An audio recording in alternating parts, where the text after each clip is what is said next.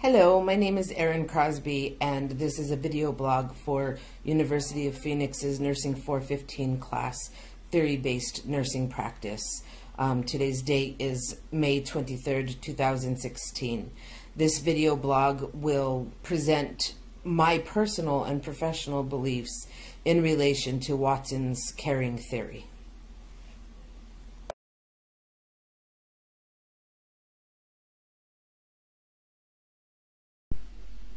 Jean Watson is a modern day nursing theorist who believes that holistic healthcare is the center of caring in nursing.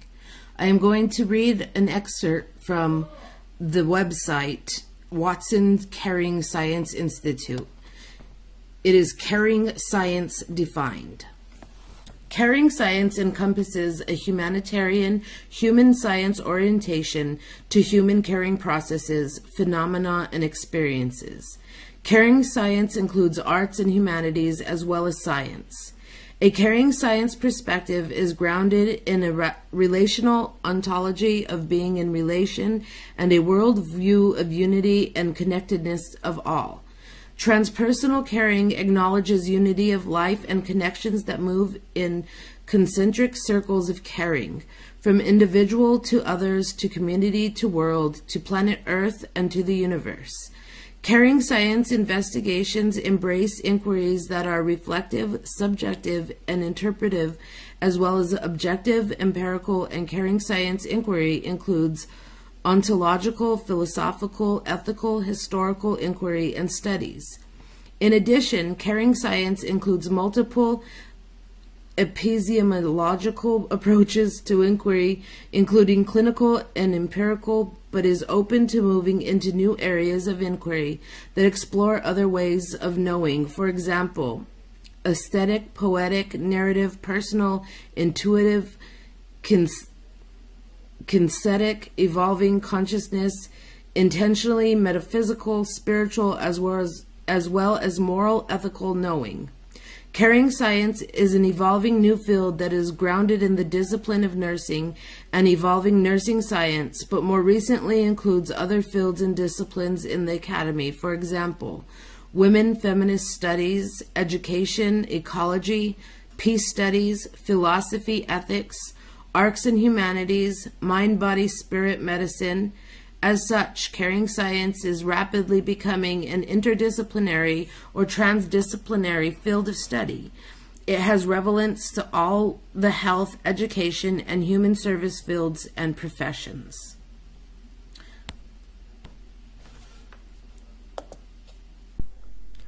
Wow, that is a lot of words and information to soak in and comprehend. In short, I view Watson's caring theory as basically you have to care for a patient as a whole and not just one thing at hand. She says later on in this website, I emphasize that it is possible to read, study, learn about, even teach and research the caring theory. However, to truly get it, one has to personally experience it. Thus, the model is both an invitation and an opportunity to interact with the ideas, experiment with, and grow within the philosophy, and living it out in one's personal or professional life. That means something to me. I feel that day to day, I truly live out Watson's caring theory in both my personal and professional lives. The caring philosophy has four major concepts human being, health, environment, and nursing. The website Nursing Theory, um, with subheading Jean Watson Nursing Theory, says that Watson refers to the human being as a valued person in and of him or herself to be cared for, respected, nurtured, understood, and assisted. In general, a philosophical view of a person as a fully functional integrated self. Human is viewed as greater than and different from the sum of his or her parts. It goes on to define health, saying that it's uh, high level of overall physical, mental, and social functioning, a general adaptive maintenance level of daily functioning, and absence of illness or the presence of efforts leading to the absence of illness. Watson defines the environment such society that it addresses the ideas that have existed in every society, and that a caring attitude is transmitted from generation to generation by the culture of the nursing profession as a unique way of coping with its environment. She defines nursing as a human science of persons and human health illness experiences that are mediated by professional, personal, scientific, aesthetic, and ethical human tendencies. The model also makes seven assumptions. These are directly taken from that same website referenced earlier, Nursing Theory. Number one, caring can be effectively demonstrated and practiced only interpersonally. Number two, caring consists of carative factors that result in the satisfaction of certain human needs.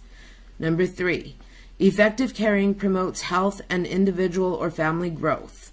Number four, caring responses accept the patient as he or she is now as well as what he or she may become.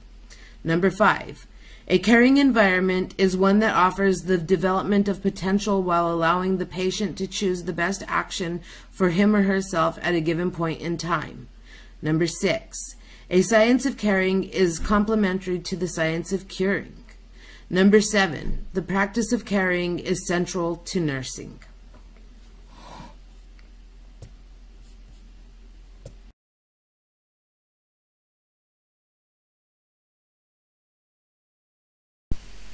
So now we have the basic concepts of Watson's caring theory down. It's time to discuss my personal and professional beliefs. On a personal level, I believe that caring comes from within. I believe that one just by second nature is able to care for another. And I also believe that nursing is a profession in which one is called to. I don't believe that it's something that just anybody can do well. I believe that to be a good nurse and to provide the best possible care for a patient, one has to live the job and not just work it. I believe that caring is a trait of human nature. I believe that people need to be cared for as well as provide care to others. There are so many forms of caring, and nursing is just one way to show it. Earlier, I read a quote about, uh, or from Watson, stating that in order to get this theory, one must truly live it. I feel that in my professional career, I have lived it. And I feel that nursing or caring is the basis of nursing. Um, I have worked in many different subspecialties in nursing. I've worked, you know, med surg to critical care and step down. Um, the majority of my work has been in the emergency department and most recently in labor and delivery. I feel that this theory has been implemented across all of those subspecialties. I feel that uh, Watson's holistic approach to care is so beneficial for patients. And in in the many different units I've worked in, I've seen often where doctors forget that. They forget to embody the holistic approach. They only look into what their their specialty is for. Orthopedic doctors only think about ortho. Uh, neurologists only think about their neurological system. You know, cardiologists only think about the cardiology system. You know, very rarely will you find a doctor who really takes that holistic approach where it is so important for the patient's well-being. An experience I had comes from the emergency department. Working one night during the winter, a homeless man comes in who's intoxicated from alcohol. The typical approach to these types of patients is to put them into a hall bed and let them sleep it off. Well, this particular night, I wasn't that busy and I had some times on my time on my hands, so I went and I spoke with the patient and he was telling me how cold it was outside and he had been wet and cold and hadn't had dry clothes in days. So I proceeded to have him undress and provided him with some clean, dry clothing.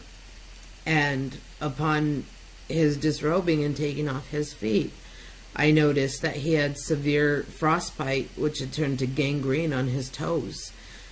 Um, ultimately, the patient got a workup, lab work done, x-rays and so on, and, and it was gangrene, and he ended up in the operating room and later the ICU, I believe. He was very sick. I may have saved this man's life because I cared, because I stopped in and, you know, to check on him and, and to look at him as a whole. You know, many people would have just let him sleep it off and sent him off in the morning. Other situations, you know, that are typical in the ERs, you know, people come in with a complaint, chest pain, you know, whatever. And you later find that they've been home for however long without any food and they haven't eaten in, in a couple of days and they've only drinking water. And you know as a nurse i take the approach of of getting that sort of information and you know helping to provide much needed resources. If all we cared about was the chest pain complaint and looked, you know, went down the avenue of working up the chest pain and found nothing to be wrong, many times things could be missed. Learning more about Watson's theory of caring reminds me of why I wanted to be a nurse in the first place. I truly care for people and want to help them. I plan on continuing to implement this theory throughout my practice and my personal life.